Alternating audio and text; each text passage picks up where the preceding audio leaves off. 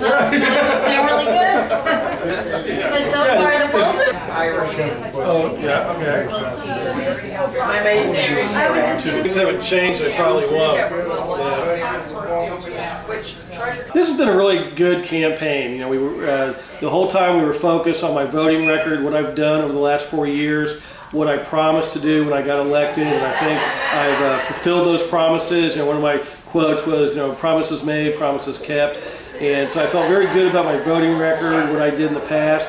And going forward, you know, we've talked about job creation and, and doing good things for the community. So um, I'm very excited uh, to have an opportunity to serve the community again and uh, to try to continue to do good things for the community going forward.